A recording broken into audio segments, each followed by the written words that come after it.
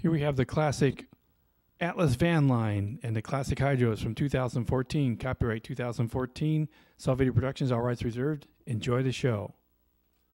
Coming up in the hydroplane pits is the, the old Atlas van line ran by Bill Muncey. And I tell you, I remember seeing this one back. Oh, it's great. Uh, It's coming back around. He's going to go around once. It's kind of. Let's listen as they go by. Uh, listen to that. That's imagine five hydroplanes like that racing along the race course.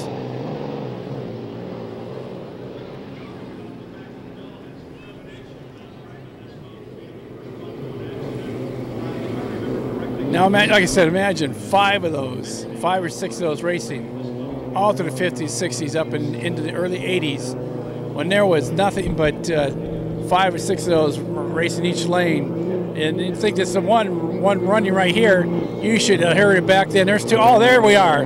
There is also the classic uh, uh, Miss Madison. Okay. Go ahead. Classics. Yeah, classics. Lots of close-ups. Go for it. Take over. Gonna hit my cameraman. I'm gonna get out of the way. Oops.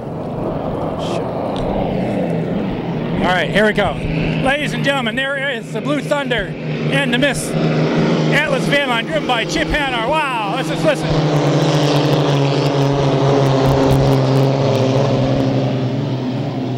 The Blue Thunder. Like I said earlier, the Blue Thunder was raced by uh, Bill Muncey, who was killed in 1981 at the Acapulco race down in Mexico. And uh, the hydroplane, we have the Hydroplane Race Museum to thank because uh, four years ago, uh, the Atlas van line was sitting in a, and going to rust and needed to have a lot of stuff put in there. But you know what? Ladies and gentlemen, it has been restored after four years, of a lot of hard luck, work and volunteers.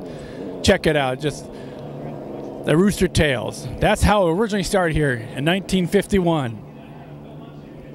And Bill Muncey, like I said, was driving this one.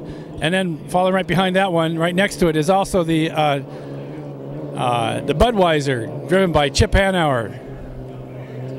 Chip Hanauer is, is right now is currently driving the uh, Bill Muncey's blue boat, the Atlas Van Line. Beautiful boats. Here they come around the north turn. Oh.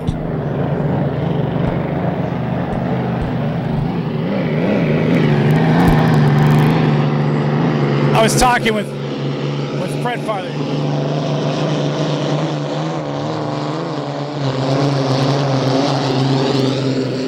Wow, I just love that thunder. I was talking earlier with Fred Farley in our interview earlier with him. He said that he had the opportunity to be able to ride in one of these uh, hydroplanes, and boy, I tell you, it is uh, absolutely fantastic. He said they go about can get up to 150, 160 miles per hour, and they're doing about 130 miles per hour, like he said, scared the living daylights out of them. And uh, he said for a while there, he's kind of shaky about it. But uh, I tell you, ladies and gentlemen, that's really cool. Now, once again, as they're going, as they let's just watch and enjoy this as they go right up along the along the log boom and show off to the fans and come around the north turn.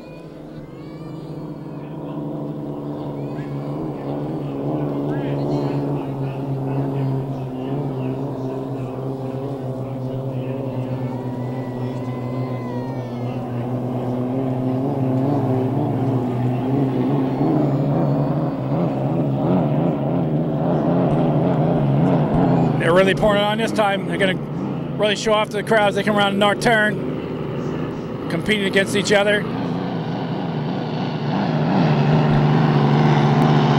Wow. Fantastic, ladies and gentlemen.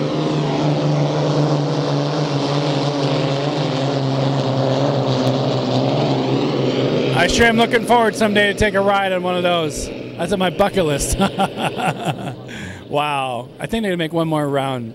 Just, uh, they were averaging about probably 115, 120 miles per hour. They don't want to go too fast because these engines that they replace, the old Merlin Royce, uh, Rolls Royce engines, are very hard to come by. So they want to be very careful when they show off go around there. They just come around South Turn, heading to the log boom and straight away. And they're going to pour it on a little bit this time. Oh, yeah. Bill Muncey has won more races than any other race racer on an unlimited race circuit over the years. Like I said, hydroplane racing came to Seattle in 1951 when Stan Sayers won in Detroit. He won the Gold Cup 1950, and then brought here to Seattle, which entitled them to bring the Gold Cup to Seattle. And they brought the hydroplane racing here, the Gold Cup, and it's been here ever since. The sport's changed a little bit, but I'll tell you what, nothing quite like looking at these unlimited classics as they come around the north turn, head toward start finish tower.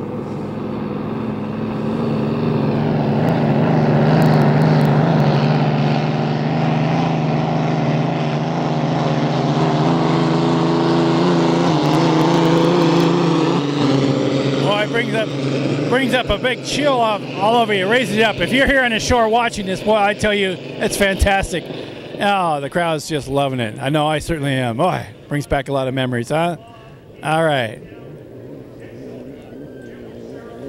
Wow. They can go like uh, from zero to 60 in something like maybe 15, 20 seconds. Oh, I see that they're turning back. They're heading back in. They're heading back into the uh, pits.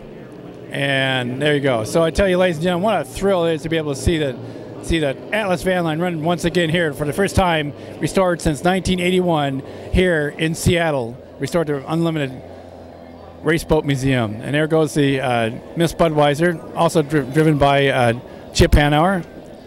And that too is a great, beautiful boat that's been restored. Uh, there we go. Ah, brings back a lot of memories, does it not?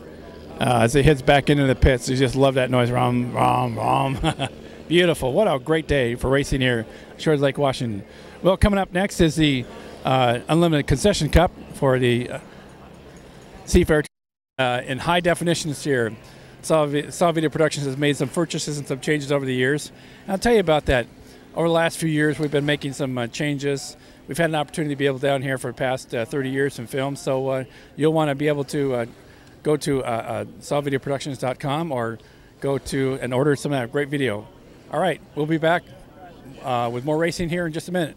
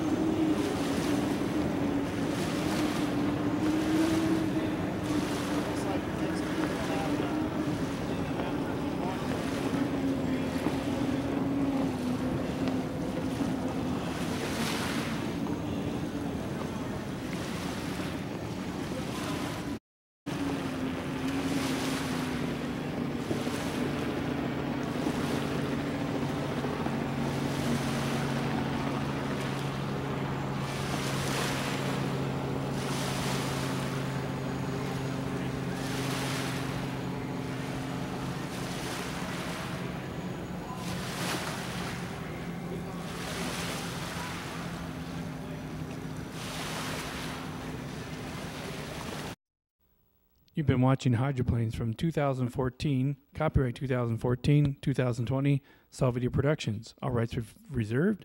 Thanks for watching. And uh, if you'd like more information about our services, go to sawvideoproductions.com. All rights reserved. Thank you very much. Have a good evening.